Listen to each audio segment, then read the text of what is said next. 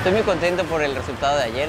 La medalla de plata significa mucho para mí porque estos son mis octavos mundiales.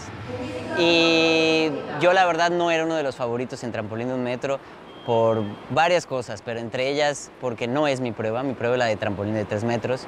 Mi grado de dificultad es bastante bajo a comparación de, de los demás. Muchos de los clavados que yo hago son los que hago de preparación para mi lista de trampolín de tres metros.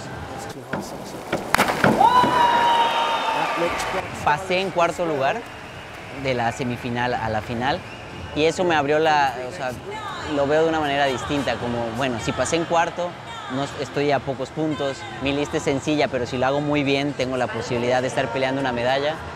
Y la verdad que me enfoqué en disfrutar la competencia. Llevo casi 26 años haciendo clavados. Estos tal vez sean mis últimos campeonatos mundiales. Eh, lo que quería era disfrutar y lo que he aprendido en, tantos años es que obviamente hay mucha presión, hay nervio, el compromiso de tu país, el quererlo hacerlo bien. Pero si aprendes a disfrutar lo que estás haciendo, a dar gracias, a, a que no sé si voy a volver a competir o no, entonces cada clavado lo hago con mucho gusto, trato de estar suelto, respirar, disfrutar y hacer lo que tengo que hacer.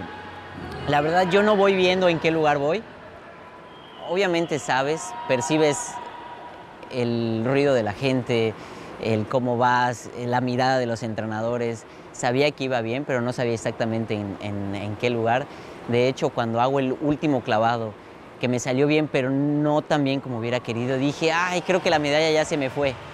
Ahí sí me asomé a ver el tablero, vi que iba, iba en primero, pero faltaban los, los otros tres clavadistas, vi que tiró el de Corea, que era favorito, vi que seguía en primero, dije, lo que pase, soy, soy bronce. Eh, el otro chino quedó abajo de mí y el otro lo hizo muy bien y se subió.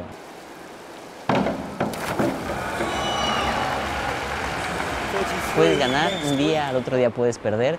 Lo importante es, es, el poder compartir, el saber que tienes gente a tu lado que, que en las buenas y en las malas está contigo y, y ser un ejemplo medallas vienen, van, eh, deportistas, campeones vienen y van, pero creo que si dejas un legado, si puedes motivar a algún niño a que continúe, a que hagan clavados, o que hagan algún deporte, creo que eso es lo más importante. Y el que se le dé ahorita tanta difusión Fina TV, eh, eh, en los medios de comunicación, que los niños te ven cuando llegas a México y yo te vi en la tele, yo te vi y por eso ahora me inscribí, creo que eso es lo más bonito. Eh, ayer Jonas, el de, Jamaica, eh, me escribe en, Instagram, eh, felicidades leyenda. O sea, como, pues es que él me conoció cuando era niño, co compite conmigo y yo sigo. Eh, hay un entrenador de Estados Unidos que era de mi generación, me dice, cuando me vio, ¿sigues aquí? Y yo sí, y me vio ganar.